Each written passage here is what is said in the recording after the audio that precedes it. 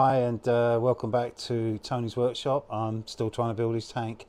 Um, right, so when I left off last time, I was going to start building the track, um, which I've done on one side. I've completed that. I've I've done it up to uh, I think it's 94 uh, segments, although Armortek recommend 96. And so what I've done is I've just uh, gone ahead and installed a track on the wheels and the sprocket and just to make sure that everything's I mean this is elevated so some of these wheels are not touching the ground but everything seems to be moving as it should do. All lined up. Very very pleased with that. And so now I'm just going to start building the track for the opposite side and I thought I would um, talk you through uh, the technique that I've come up with for doing that. And when I've done that I'm going to take I'll put the I'll, I'll, I'll mount the this track on the other side uh, and do exactly the same thing just to test the run the running of it.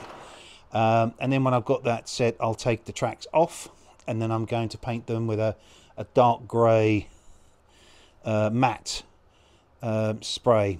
Um, I won't cover them completely I just want them to look a little bit more uh, road worked if you like. Um, and then if I get the paint on the the main track and then over time it will wear off these these blades here and it will look a bit more authentic but I think um, it just looks too new.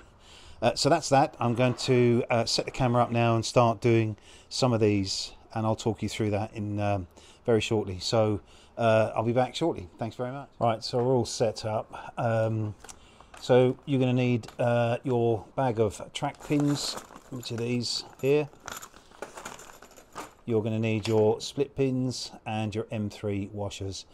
You're going to need a small set of thin nose pliers. These are a modeling set, quite handy, and uh, a very good sharp cutter. And I'll tell you why in a moment.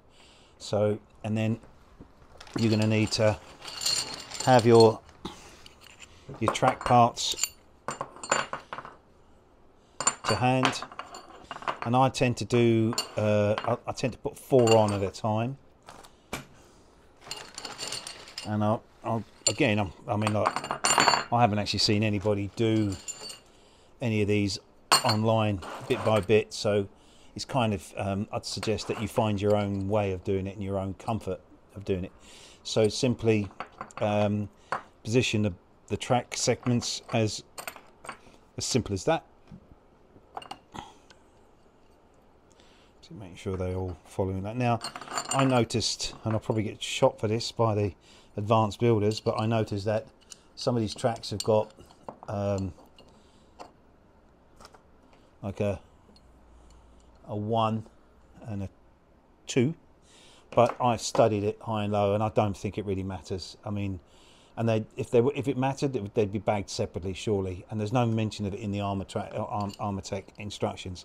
And they they seem to be exactly the same. But i guess if you're if you're that kind of builder that just wants to follow that i mean i'm i'm, I'm not. I'm not going to go through you know nearly 200 pieces of track to separate them out between one and two. And i've built this uh, piece here uh, reasonably well without having to worry too much. So so as you sort of thought. Now uh, before we go into that, so basically the, the track pin itself is this, and I don't know if you can focus on that, but there's a tiny little hole on the end of that. This slides through the hole, put a, an M3 washer over it, and then the split pin goes through the hole. Now, it, that's that's easy, but and then obviously once we've got it in position, we'll we'll bend these split pins and then I'll show you I have to I've discovered that I I need to cut them to make them fold round to a neat bend as it suggests. Right so these pins simply go I should just going to position that tank a little bit further away to give me a bit more room. Gosh it's heavy now. So that's gone in there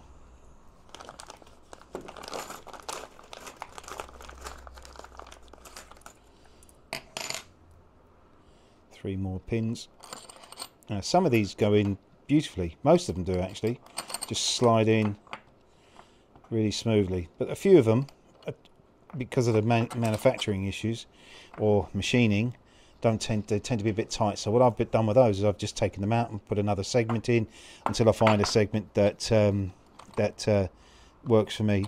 Then I simply just I'm just going to turn the pins so that I can have all the holes facing up upwards.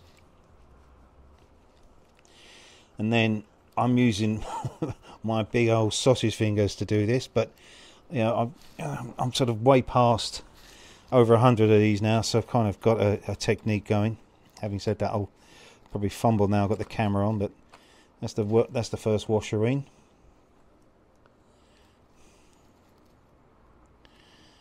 Split split pin in.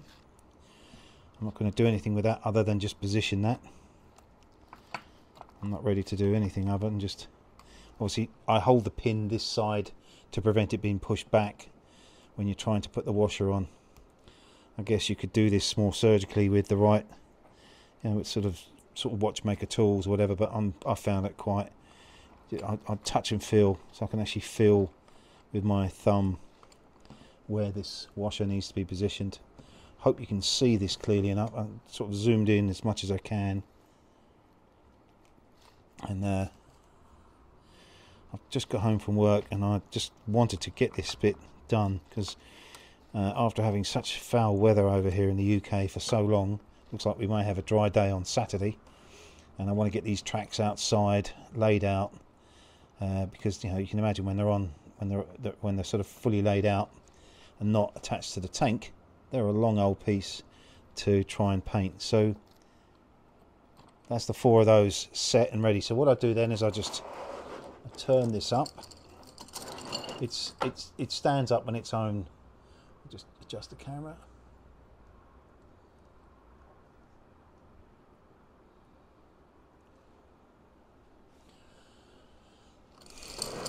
It stands up on its own weight and if it, if it wants to fall down all I do is I just I turn it so it has more form and it's fairly safe. So I don't know if you can see now we've got these pins all here. Now I'd started off trying to wear gloves but the problem is the gloves um, get in the way. So I use barrier cream. So I just completely covered my hands in barrier cream. Um, and just be careful. I found that the best way of doing this is to split the pin initially Hmm, here we go. Just because the camera's on there it's going to be awkward of course. Just get the thing moving.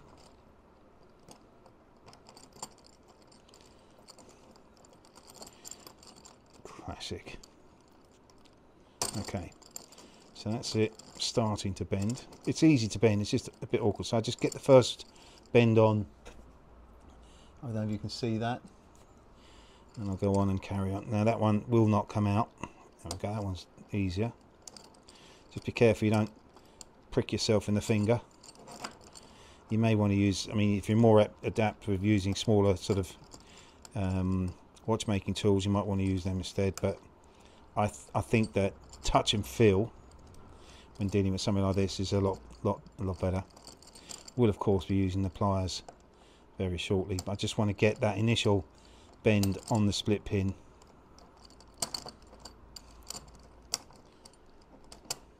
That's that's that. Now obviously can't leave them like that because they're too long and they will they'll bind and and and uh, cause interference with the track. So what I've been doing is I just use my snips and I take off about two thirds of what's left It's longer on one side than the other, of course, so just try and make them even.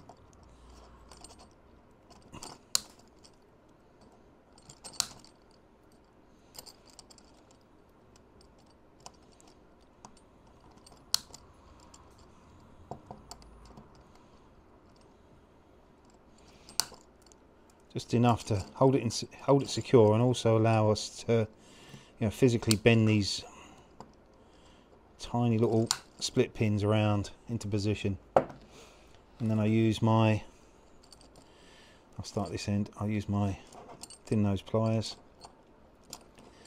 and just holding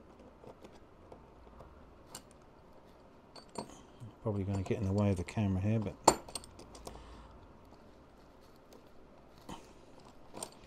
it's gone around nicely. And just turn that. So I use the I try and use the the actual loop of the split pin. It is jolly awkward, but there you go. There's I'll just fold that round. There we go. And that's the first one. I'll see if I can just move the camera so you can you can see. So that's the first one done. And then I'm going to go on and do the others. And they'll all end up looking more or less the same. It's a fairly tedious, monotonous job, but if you've got nothing else better to do um, on a wet and cold winter's evening, um, and as sod all on the telly, um, then this is a, a, good way of keep keep myself out of trouble. I only spend a couple of hours. If I get home at a reasonable time, today I got home at a reasonable time, so I spend a couple of hours just it's actually a really nice way of unwinding. I have a fairly stressful job and I find that uh, coming in here to my workshop and doing something like this and just seeing the progress of it um, on a on a day by day basis it's it's really quite comforting and to think that when I started off doing this I was absolutely petrified about the whole process and really concerned that I'd taken on something that was uh, beyond me. But um, the more I've got into this, the more I've become quite attached to this process and um, and and the time that I I'm spending. The more time I'm spending with this uh, tank, the more I'm beginning to think uh, of ideas how I think it's going to look when it's finished. And I think that's what you'll find. So that's so that's that. They're done. I'll put them back. Put this back down now and we'll go again. The only thing I'd say as well is um, I mark these when I get to a particular stage. So I've got, I know I was at 40 here. So that's 40. So I know that there's 40 because I know you, you, you, can lose count. And what I don't want to do is on the, you know, I want to make them the same. Now I may, I may end up um, taking a track or a piece out of this uh, segment out of this track. Um, uh, once and, and, it does it does demonstrate how the idler wheel works quite well and I will do that uh, once I've painted the tracks and I'll show you how you adjust it how it all kind of works really smartly actually and again I'll just say that the quality of the build of these things of Armateka is phenomenal um, so I'm gonna um, I'm gonna carry on with this um, and what I'll do is every time I get to another 20 so when I get to 60 I'll mark that as well. It's also a, a good way of if you like uh, helping you through the process. So um, I'm going to carry this on and um, you're more than welcome to watch. And I'm going to ask my amazing son to to speed the process up. And you are going to run out of room for this so what I do is I just tend to run this up like that and then the only difference is when I need to turn it on its side it's just it makes it easier because that stands up it's not doing anything. So that's that's perfect. So I'm going to carry on and I'm going to see if my, my son will speed this up for me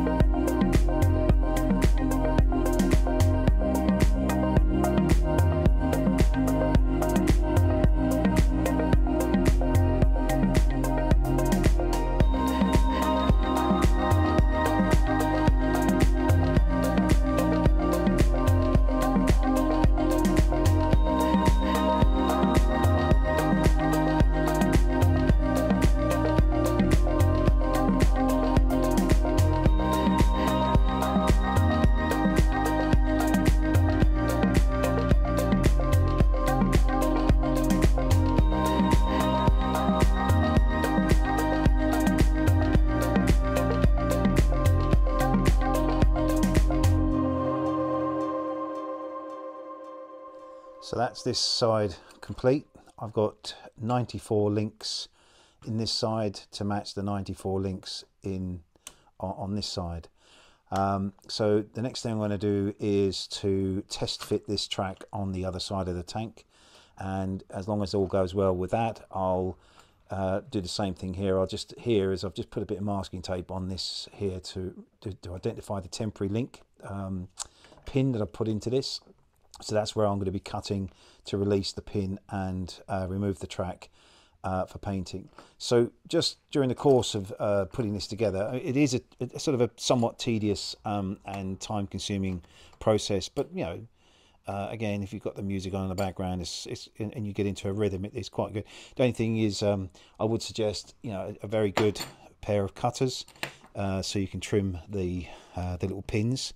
Uh, if you try and um, if you try and uh, try and just bend these as they currently are. They're too long, so you do need to trim them to be able to get that neat fold either side of the pin. Um, so with uh, when you're doing that, obviously wear goggles because these tend to fling, uh, ping off. Um, and then just a, a, very small pair of uh, pliers, pin nose, you know, pins of sort of thin nose pliers, um, and a little bit of patience and you'll you'll get there. And as I said I, I, I tend to, to, sort of mark the track when I've got into sort of 20 60 80 and then got to the 94 so I know that's where I am. So that's that's uh, just some tips. And then so once these tracks are um, test fitted and I've removed them from the tank I'm going to lay them down on, on my garage floor and I'm going to give them a coat of sort of dark grey anthracite uh, car paint just to take this sort of new look off both sides.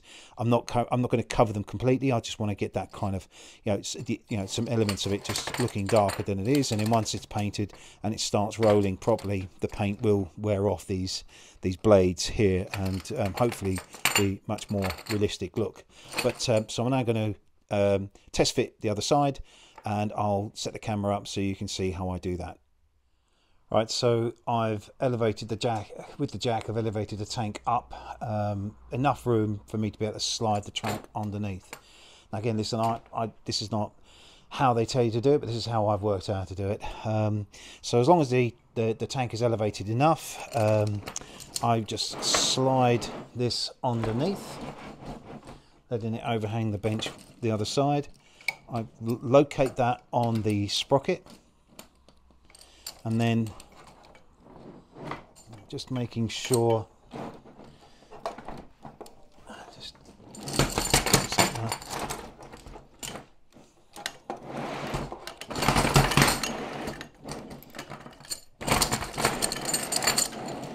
and that's it.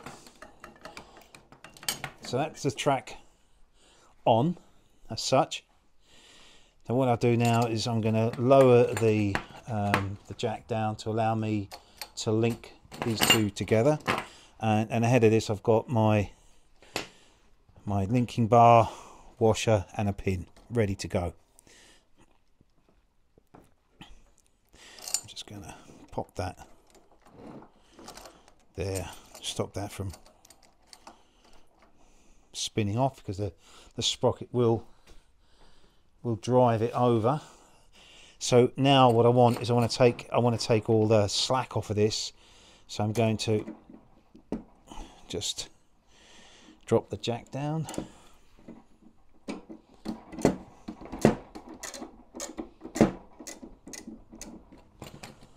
Taking up the slack.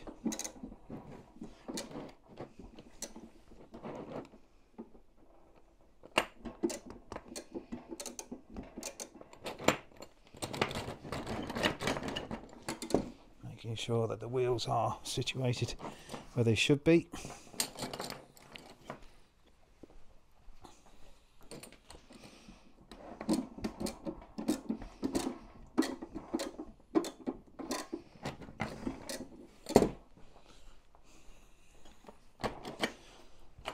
Awkward to do this on your own, but this is the technique that I've come up with. So I'm just going to pull that slack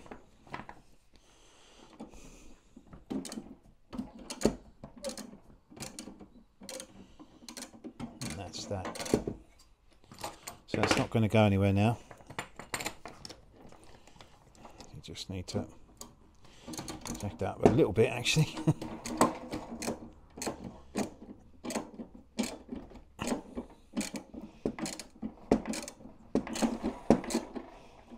Take a bit more to slack up and then move that round.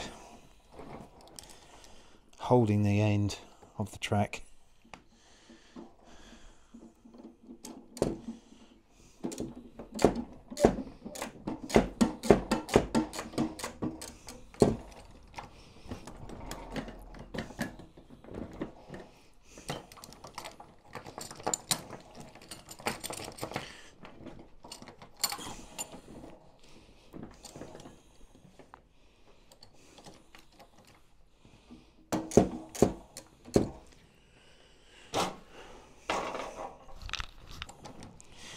So that that. That's nicely together. Take the pin.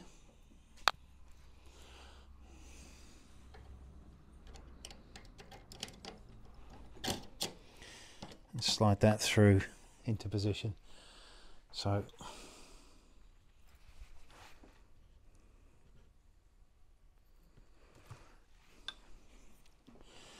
So that's that in as a temporary just here. Um, and I'm just going to pop that washer on there.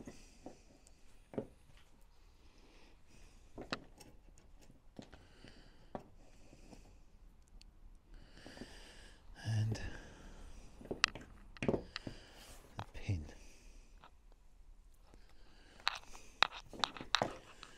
Just use the pliers to rotate that round so I can get the pin in it.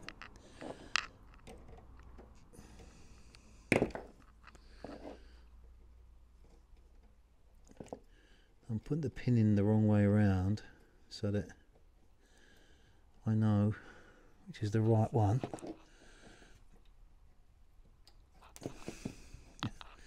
Classic.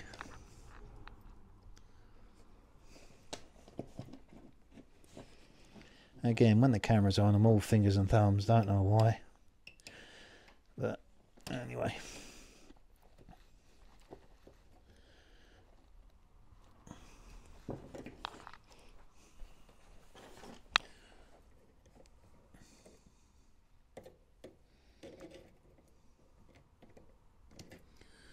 So that's just temporary. So now what I'm going to do is I'm just going to elevate this up again.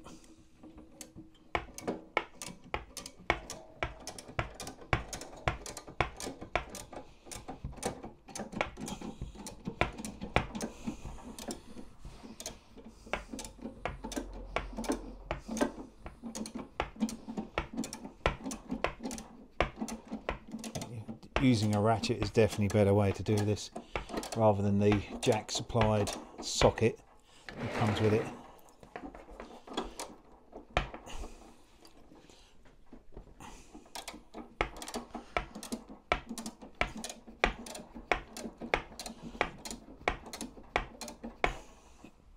So that's it. Elevated enough just for me to make sure that the tank wheel all moving as they should.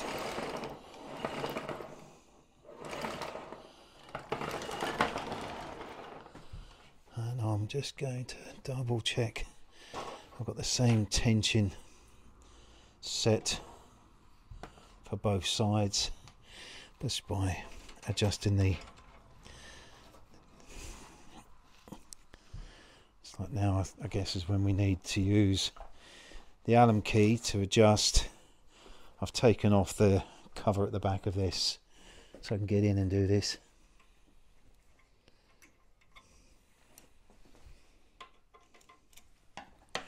Would help if I got the right size, wouldn't it? Anyway.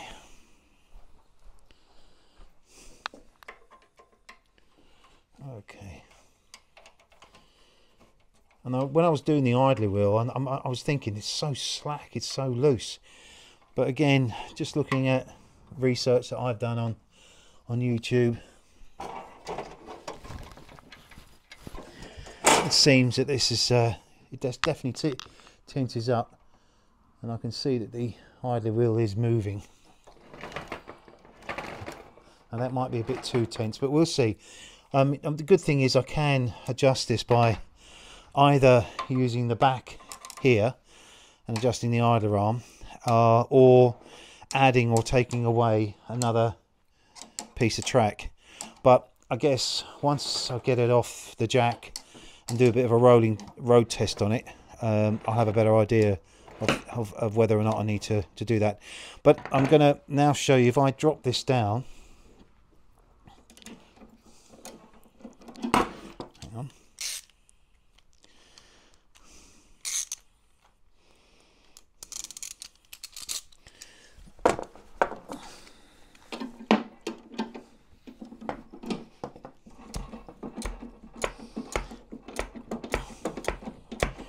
although the jack is still underneath this.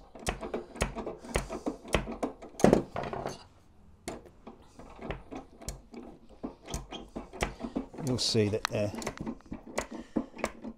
It becomes a lot slacker once it's almost all the weights on the deck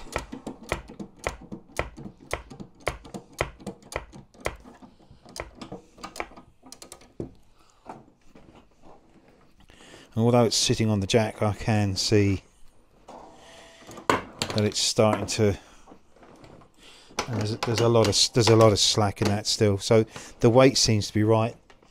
All the wheels seem to be moving as they should. So I'm quite I'm quite happy with that. So the next step for me now is to remove the tracks um, and uh, take them off ready for painting. And then I'm going to start looking at rubbing the side of the tank down fronts down ready for painting this bit. I've put the deck on as a temporary so I can just mask this area off because unlike other builders I'm not painting the inside of the tank. Um, I, I, I, just personally don't see a reason for it. It's personal preference but I'm not doing it and then once I've got this all masked up I'm gonna and when I've assembled and added some of the detailing on here and on the front here um, I'm gonna then prepare this prime paint up to this point here.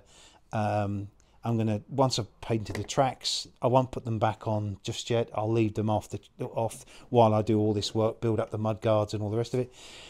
And then I guess the next step once this is done I'll have to take the tank off the bench and uh, start working uh, on the, the top section and the turret and everything else.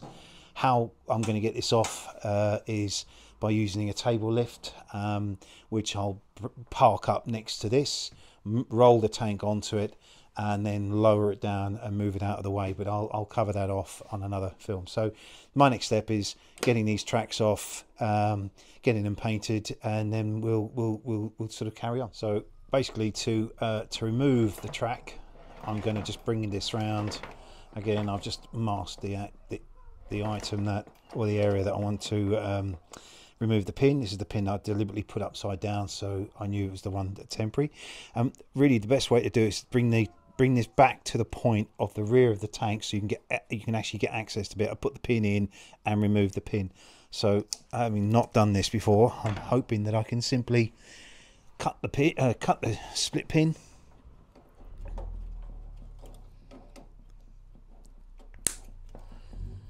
Uh, I've got safety glasses on, which are also uh, plus twos.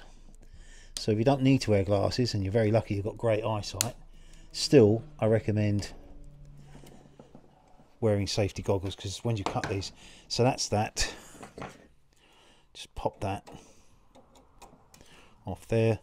I'm going to use my pliers to push that pin through, pull it out this end and hold on to this because it will go very quickly like that. So that's it.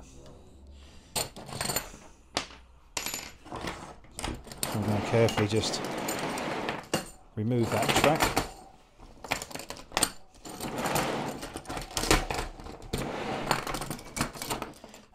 and then away from the tank. And that couldn't be simpler, could it? So I'm going to do the other side now.